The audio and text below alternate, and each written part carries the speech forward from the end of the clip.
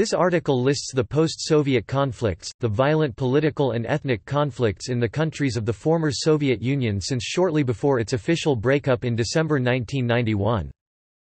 Some of these conflicts such as the 1993 Russian constitutional crisis or the 2013 Euromaidan protests in Ukraine were due to political crises in the successor states. Others involved separatist movements attempting to break away from one of the successor states.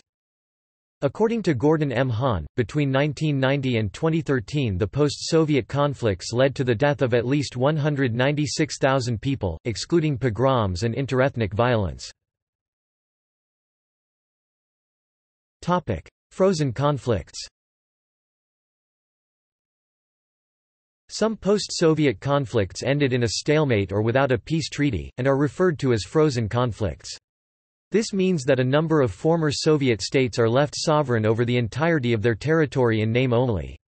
In reality, they do not exercise full control over areas still under the control of rebel factions.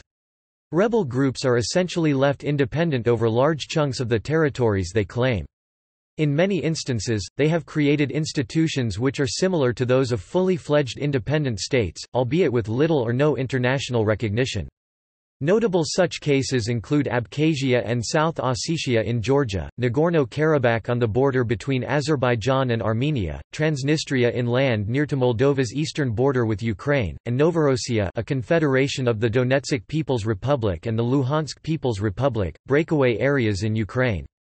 The Republic of Crimea is also arguably part of this group of unrecognized states, as the annexation of Crimea by the Russian Federation remains unrecognized by a majority of UN member states and is contested by the government of Ukraine. Recognition of these rebel groups vary. In some instances such as Transnistria, no UN member state has given its recognition, including Russia. In the case of Georgia's Abkhazia and South Ossetia, Russia, Venezuela, Nicaragua, Nauru and Syria have recognized them. Central Asia. North Caucasus. South Caucasus. Eastern Europe Topic. See also. Community for Democracy and Rights of Nations.